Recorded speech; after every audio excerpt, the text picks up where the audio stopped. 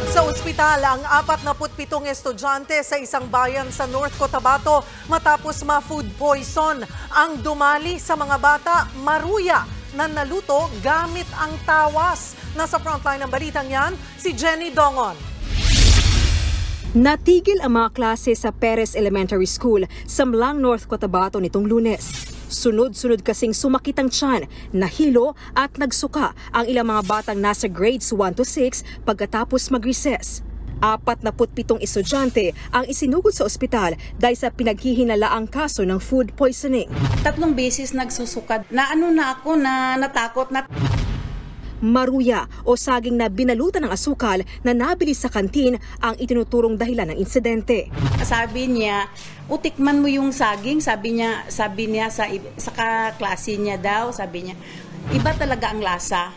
Imbis na matamis, ma ano, mapakla. Kaya pala ganun ang lasa.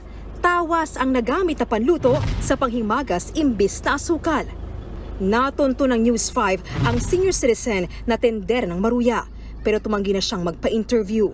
Pero paliwanag daw ng matanda sa health officer ng bayan, nagkamali siya sa timpla dahil inakala niyang asukal ang nabiling tawas. Kumuha sa doon sa istante ng uh, ang nakuha niya pala is hindi istante ng mga sugar kundi yung ah, tawas. Kasi uh, repack lang yung tawas eh, walang label. Ayon sa health expert, posibleng umabot sa pagdurugo ng bituka kapag nakakain ng maraming tawas. Magkaroon din siya ng irritation no, doon sa gastrointestinal wall. Uh, depende sa amount. No? So kung marami, actually, kailangan mo ng maraming amount talaga para talagang magkaroon ng burn, ng, ng damage. No? Uh, pwede magkaroon ng ulcer, ng bleeding. So, Ito yung biniling tawas na inakalang asukal ng tendera ng Maruya. Sa unang tingin, akalain mo nga na asukal ito dahil bukod sa walang label, ganito pa yung pagkakaripa. Pinong-pino at puting-puti. Halos walang pagkakaiba sa totoong asukal. Buti na lang daw at kaunti lang nakain ng mga estudyanteng na biktima ng maruya. Nakalabas na ng ospital ang mga bata at nakapasok na rin kanina.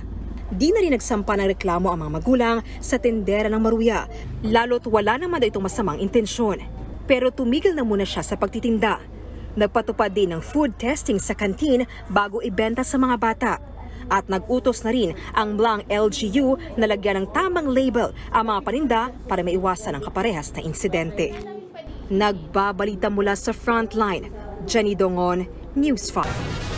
Mga kapatid, Cheryl Cosim po, huwag maging huli at maging una sa lahat para sa tuloy-tuloy na balitaan at karagdagang impormasyon sa mga napapanahong isyo ng lipunan. Tumutok lamang at mag-subscribe sa social media pages ng News 5.